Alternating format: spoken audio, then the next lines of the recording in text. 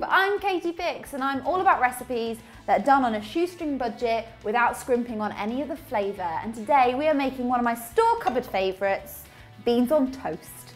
Now, why make homemade beans on toast, I hear you ask? And I understand, I understand the confusion because I love a tin of beans as much as the next person.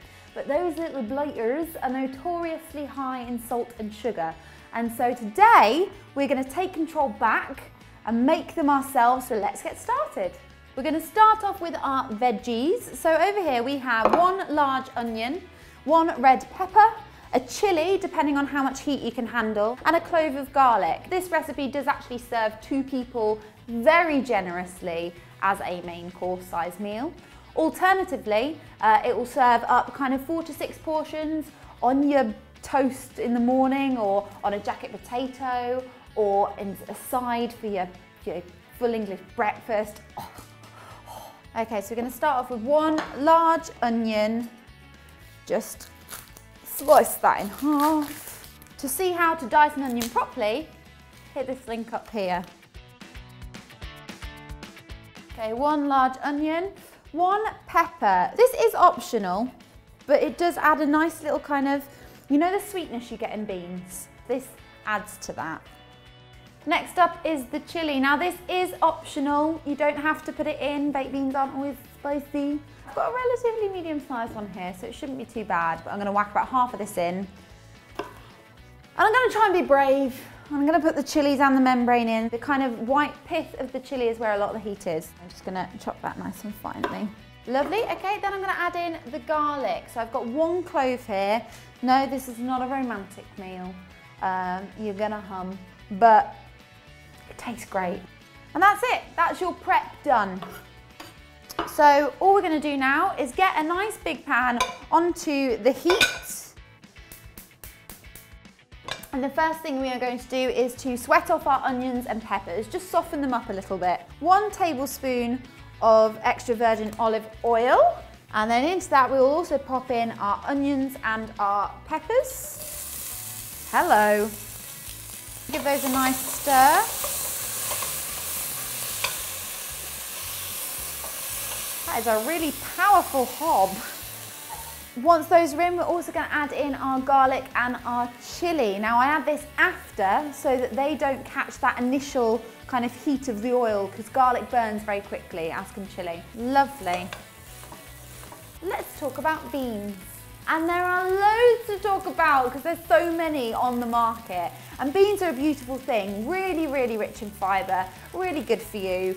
Um, and they come in all different shapes and sizes. So we've got here, for example, some black-eyed beans, some beautiful, big, fat, juicy butter beans, uh, your classic kidney beans, can't have a chili without them, um, and of course your borlotti beans as well. I'm going to give some borlotti and kidney beans a go. You're going to need two lots of 400 gram tins of beans. Be sure to drain and rinse before adding to your pan. Into that, to finish that off, we just need two tins of tomatoes, chopped tomatoes, you can get these in any supermarket, dirt cheap, and they're going in as well. You will notice at this point is a little bit loose and liquidy, but that's fine. We're now gonna leave that on the heat for a good 10-15 minutes, simmering nicely on a low to medium heat until it gets really nice and thick and beautiful. Okay, so 10 minutes has passed, so gooey and oozy. All of the peppers have wormed their way around the beans and they've gone lovely and soft, almost ready to rock and roll. But of course we need to season it. Now, do you know that familiar tang that a tin of beans has? That lovely kind of sweet zing? Well, rather than putting sugar in, we are going to add in some delicious balsamic vinegar. So we're gonna just pour in about a tablespoon of balsamic vinegar.